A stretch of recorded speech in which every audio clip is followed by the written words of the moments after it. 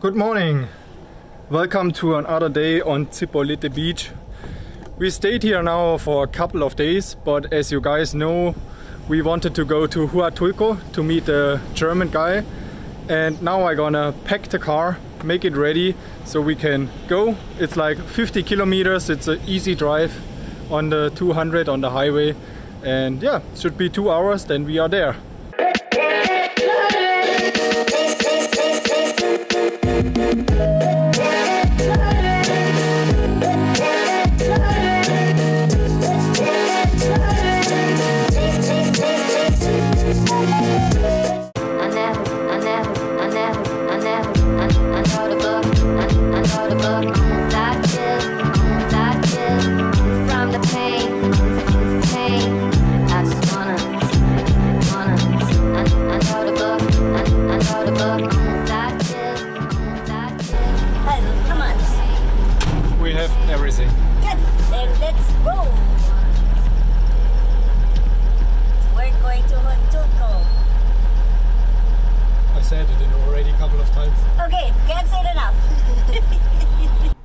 After two hours of driving, we arrived at the road we wanted to enter to Huatulco, but this road right to the campground was blocked with a, uh, yeah, with some dirt, so we couldn't drive there. That's why we had to go back to the main entrance of the city. There was a little checkpoint where they looked if you have any symptoms for COVID, and after that we have to had to drive all the way through the city to come to the campground. When we arrived it looked really nice and we were really happy because it was green and sunny but then the staff came to us and started talking to us. Buenas tardes. Buenas tardes. Bien, ¿y tú? Muy bien. ¿Alemán?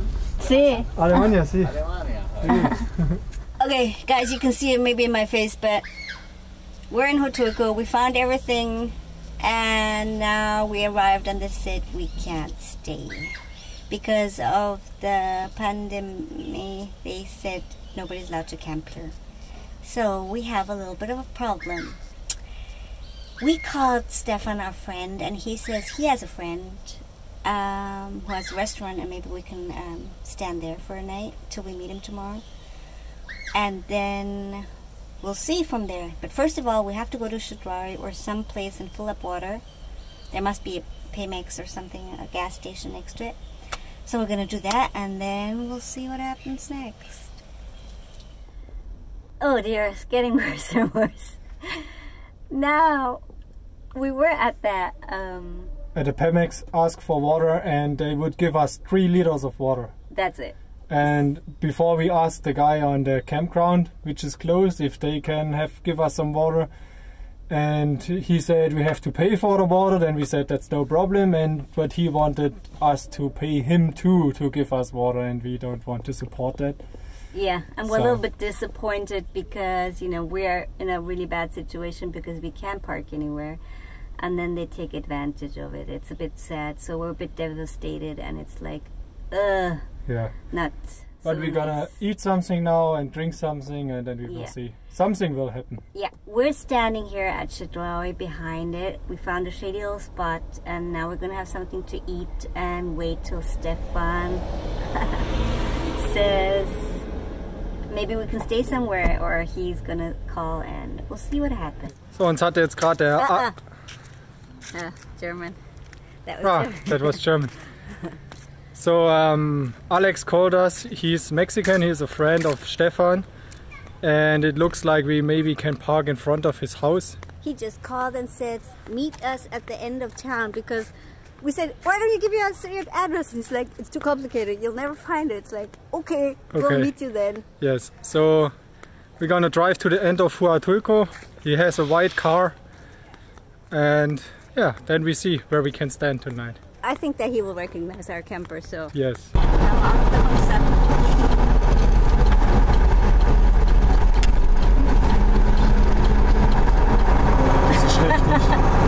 nein, baby, tu's nicht. Uh uh, uh uh, baby, fahr zurück, fahr zurück. Day two in Huatulco.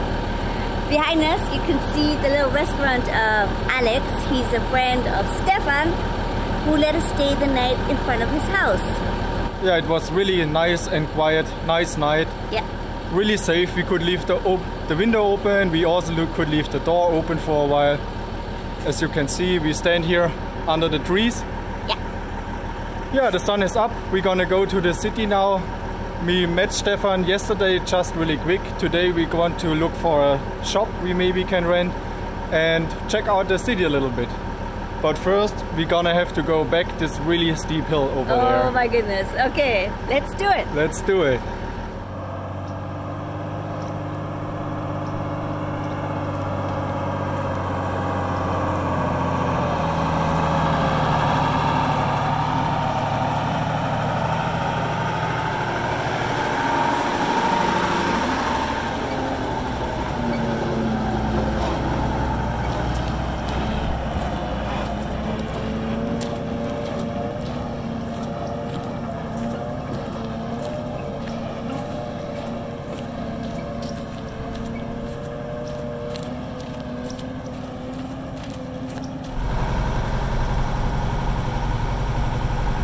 After we couldn't find water yesterday here in Huatulco, we are at the Agua station now today and we can buy some water here. It's pretty expensive just to fill up the tank, but yeah, it's better than, than an empty tank. So we fill up 150 liters here and then we drive to the Chedraui and yeah, see what's gonna happen next. It's pretty hot as you can see, it's almost 30 degrees already. So it's going to be a really hot day. We didn't want to wait in front of the supermarket so long, so we drive a little bit and we found a tiny little beach in the south of the city. There we waited until Stephan called and picked us up to go and look at the shop. We are here in a place in Huatulco that's possible for rent. That's the right side. And here is the left side. It's pretty open and we like this side more because there is a little house. You can close your tools in and everything. And also over here, if it's empty and clean, we could park our car. We have sun for the solar. And then we would have a nice working space in here. All the way. I think it's about 15, 150, 200 square meters, 150 square meters. And if you make a nicer gate, I think it could be really nice. So he's checking for the price now. And then we see how much the monthly payment would be. Okay, we are back in the car Full of information. full of information. We just went quick to a carpinteria. He knows the boss and he would hire me too for like 2500 pesos a week. Would be a six day week, Monday till Saturday from 8 till 6. And I think 2600 is about 100 euros. So for weeks that would be 400 euros a month. for lots of work. No security, no insurance. Nothing. Um, yeah, just there to work. The place we showed you before we could rent is about 250 euros a month. And that's actually really easy and That's not nice. so bad, we yeah. could park our camper. We would have our own little place to be. Christian had place to work. It's a shady place and actually quite good. Depends now if he's gonna negotiate with us. Yeah, Um, so yeah, we have a lot to think about. We're gonna go tomorrow again, yes. and yeah, we have to do a lot of reconsidering, but we're quite surprised. Another day here in Huatulco. Yesterday we checked out the place here with Mario and we want to meet again with him today at 11. It's about in 20 minutes. Then we can go inside, we can see the little house over there. There should be bathrooms and everything. And we want to take some measurements to see how big it really is, to see what we really can do here. And then we want to speak with him about the rental again. And when we have all the information we need, we're gonna check out the city a little bit more because we actually like it a lot here. The beaches, the one beach we have seen is nice, but it's not like perfect for us. But there are some more beaches and stuff we, we could look at. So that's why we're gonna go to the city later and look at that. But now we make some thoughts about this thing. So, our thoughts until now. When you see, take a look at the whole area. This is the right of the area. Over here is the left with the blue wall. Over here, we maybe can make this place more flat and put the car here for long term. And here on the left, as we said, in the house back there is the toilet and everything.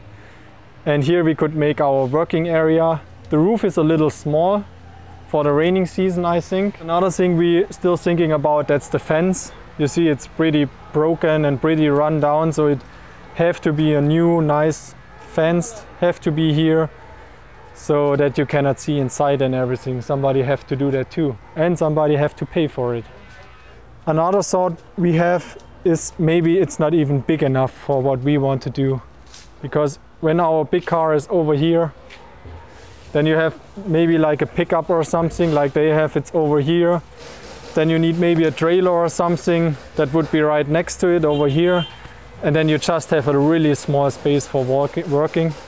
So many things to think about and yeah we will see if he comes at 11 or not we're gonna wait we didn't meet um, met mario today. He wasn't there. But yeah we met the owner of the place. And he was a really really nice guy really sweet. And um, he said yeah yeah guys come in showed us the shop everything and the place that we could rent. And we're quite surprised. He want to have 7000 pesos for the big place with the little house and 3000 for the other place with the big roof above it. Um, but still we have to think about some things because we have to do a lot there to make it a nice place to work and to make it look nice. We have to renovate the little house we have to renovate the toilets. There's still the big problem with the fence in front who mm-hmm. somebody have to do and he was not really willing to talk about that stuff. Yeah. you want to rent it and you do all the work. Yeah. We'll see what possibilities we can do but it would be able to make a workshop out of it and there would be even enough space for us to stay there with the car. Yeah. We have to see if it's worth it to live there too, or if we have to check for another place. And that's what we're gonna do today. We're gonna take out a motorbike, drive through the city, and look if we can rent another piece of land or an office or something just Yeah. to make a quiet space for us. So as you can see behind me, there are a lot of building sites here in Huatulco. The city is growing really, really fast as we think and as, as we have seen the whole days we are spent here now. They build lots of private houses for private people. They build lots of hotels, lots of restaurants and offices and yeah, everybody's really busy building stuff. So let's go and check out some empty lots.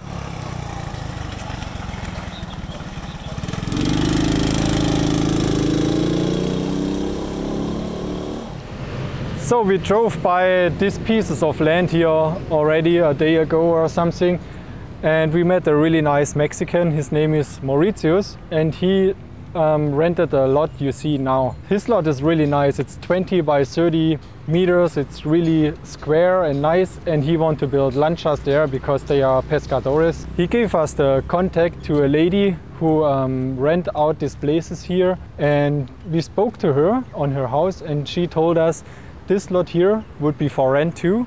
It's about 20 meters by 30 meters too, but it goes a little bit um, more together in the end. So it's not 20 meters in the back, it's just like 10 meters or something. They would have to remove all the dirt here, but we could stay here with our car, which is really interesting. But the problem is you have to build on your land if you want to have water and electricity. So you have to get rid of your dirt water and you just get these accesses when you build.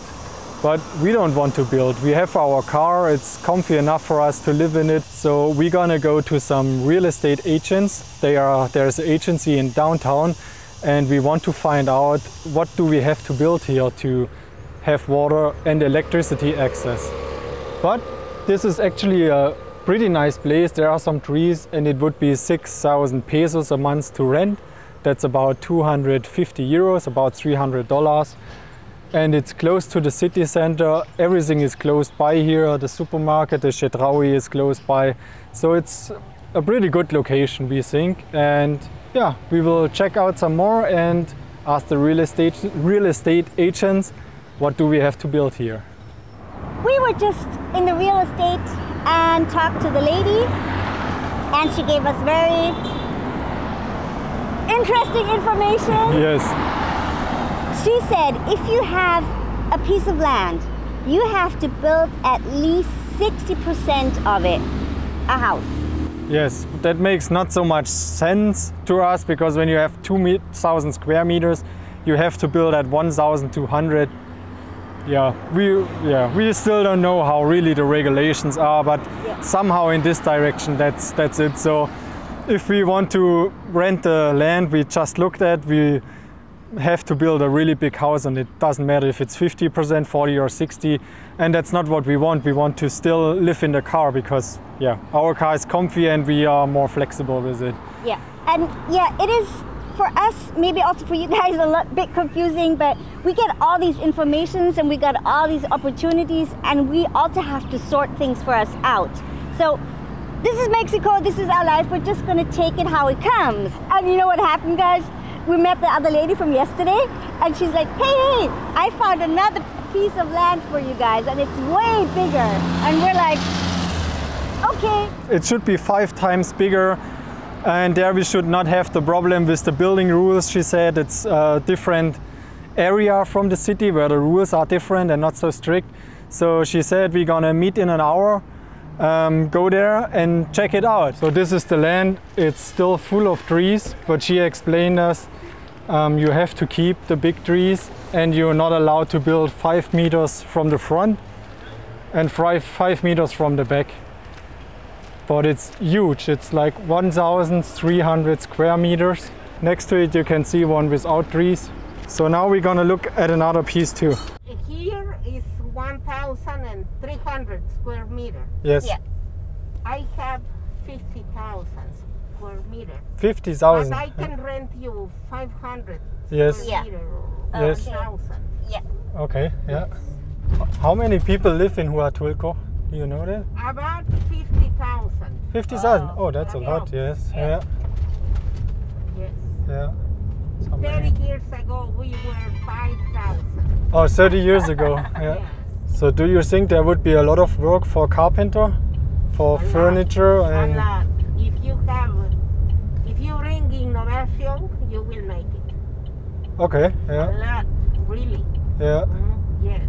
and for special carpenter work too. Or Sure, now with the developments that are in process, yeah. you can make good, good work. Puerto Angel is 20 minutes away from here. From here. Okay.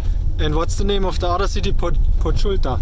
Pochutla is Pochutla. the Ah, okay. That's also 20 minutes. Uh, Uh, 15 minutes. 15 minutes. Yeah. Okay, my land starts here. This is the edge. we call that part El Palenque. Okay, here I have the many part of piece of land. You are have the ocean there, Yeah. so we can choose. very the septic hole. So if you use this flat area, Yes. you can connect to there. To there. Yeah. Mhm. And then from there it goes where In in the deep ground. in the ground. Look at the view, guys. Oh, there's the Beautiful ocean. View. Really beautiful. Adobe house. Oh, Wow. Two Very bedrooms, nice. But as you know, worker lives here, so yeah. they just don't take care. I spent about one million pesos to make this house. Yes. Yeah. Because I put uh, cementation, foundation. But here your worker lives now. In here in the house. He lives here because Yes. he take care of my property. Yes. So I will rent you the, the land Yeah. Eh, but he will stay here because he's a good guard. But you can walk to the beach, or is it too far to walk? If you like to wa- more ocean view here. If you like to there up there. Oh yes. Yeah. If you like to walk, there's the beach. Oh yes. Yes. Here I oven I cook the plant. Oh here. It can remain like a museum. Yeah. Yes. This is the oven. We cook six tons of, of Oh, uh, six pine. tons. This is the grinder. Here we could we put the copper Yeah. the the copper pot.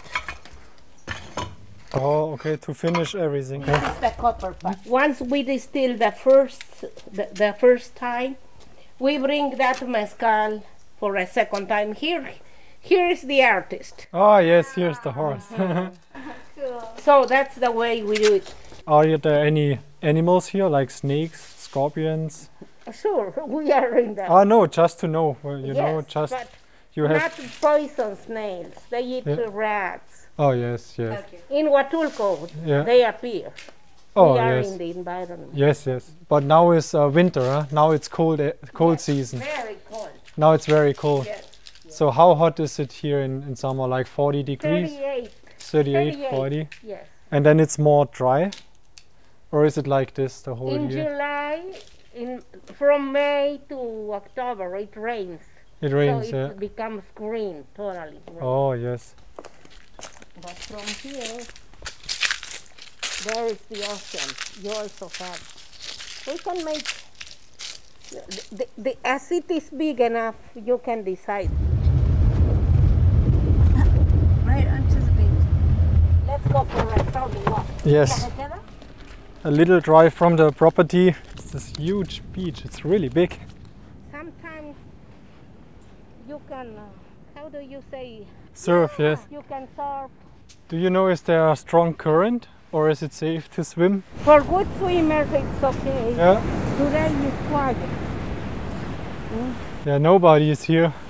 So why did you bought this land? I cleaned it and started to plant agaves in 2006. Yeah. And I did my first production in 2013. Ah, Okay. I thought when my kids grow, they would get involved in the business, but they didn't want. Yeah. They just left. They left. Yeah. so I stopped that project. yeah. And now I want to retire. Yes. I am tired to work. And you know why then don't fix the road? Because they don't want too much people Yeah, yeah. to Come this yes. area. uh, yeah. And it is easy to reach. A lot of people come here. Yes, Yeah. if they make a, a nice road. Yes. And it gets crowded and everything. As you can see, we're back at the beach. Yeah, it was a really exciting day for us. We have seen a lot of things what we were were not expecting before we came to Huatulco or when we came to Huatulco.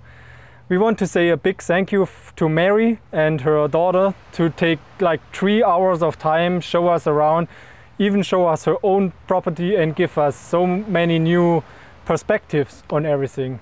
And a big thank you to Stephan who introduced us to the carpenter and the guy who does the runs the workshop and yeah we have well it was so much to take in and we're so filled up and we're so happy that we're allowed to see all that stuff So it would be interesting to know what you guys think about the places we looked at.